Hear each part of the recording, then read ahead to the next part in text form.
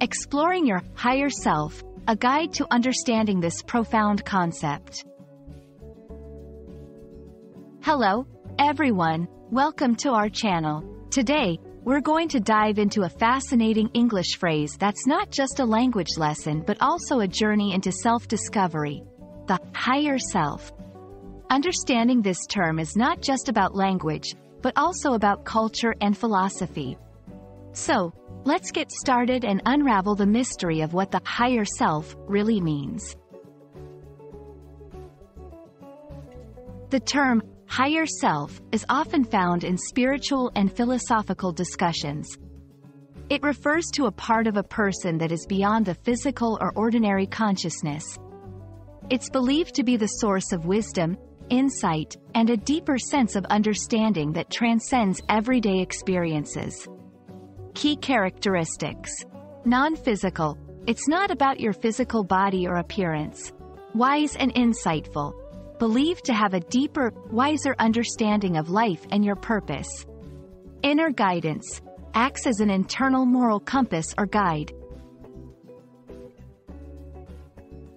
While the concept is spiritual, the phrase can be used in everyday English too. People might say they're in touch with their higher self when making decisions that require deep thought or moral judgment.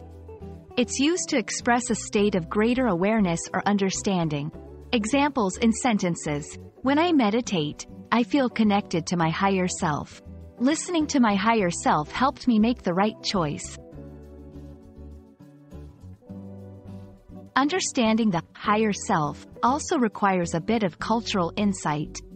The concept is deeply rooted in various spiritual and philosophical traditions around the world. It's often associated with personal growth, self-improvement, and spirituality. Key influences. Eastern philosophies.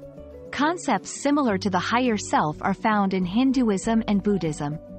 New Age thought. The term is popular in New Age circles, emphasizing personal spiritual development.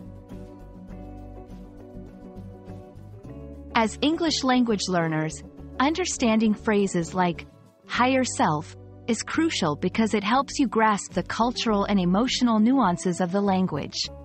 Such phrases enrich your vocabulary and enable you to understand and participate in more complex and meaningful conversations. I hope this exploration of the higher self has been enlightening for you.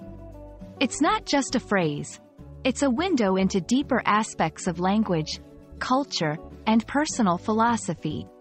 Thank you for joining me today, and I look forward to our next language adventure together.